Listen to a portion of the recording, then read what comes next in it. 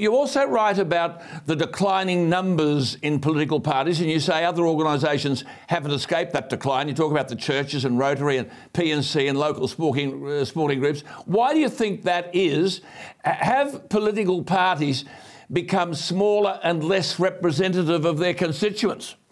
Well, Alan, I think the, the non joining mentality covers everything, not just political parties, but it has an acute relevance with political parties because they are the ones that produce the men and women who make the decisions.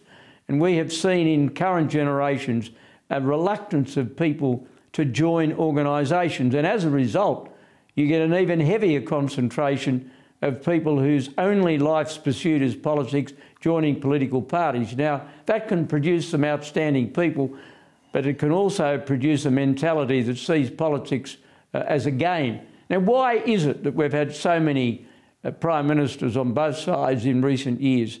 Is it because we have a greater number of people who see politics in factional and game playing terms rather than in long term policy development terms? Mm. Maybe that's an explanation. Yes. But, but I think it's, I mean, you, you, it's you highly relevant. You dwell heavily on this factionalism. Just a quick word from you on that. How much is that destroying the fabric of getting the very best people? I mean, you mentioned about Chifley with lawyers and two farmers, a dentist, a publican, a tobacconist. Uh, I think the only lawyer was H.V. Evatt, wasn't he? Um, but, but how has factionalism destroyed the willingness of people to put their hand up? Well, it discourages people from nominating in the first place because if they're not chosen or ordained by a faction, they don't even bother.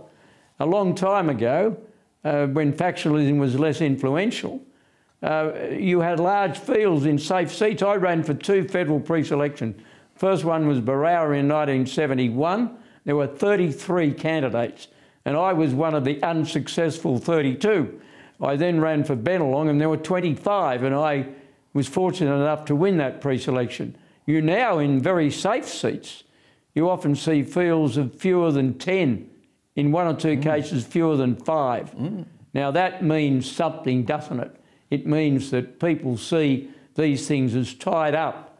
I mean, how often people have come to me in recent times and said, oh, I'm thinking of nominating for so and so, such and such a seat, but I've got to bear in mind that this or that faction has already picked their candidate.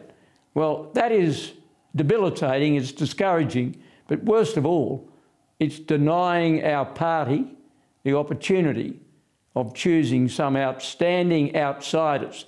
You should always put into Parliament a mixture.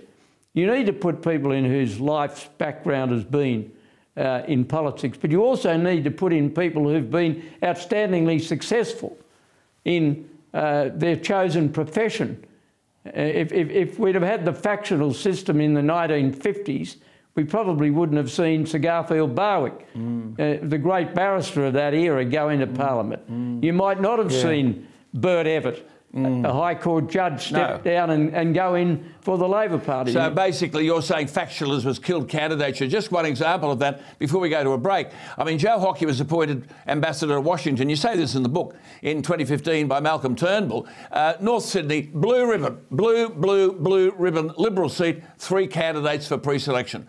When Joe Hockey had a majority of 16%, for the reason that you've identified, people knew they had no chance. It had all been sorted out. I'm afraid that's correct.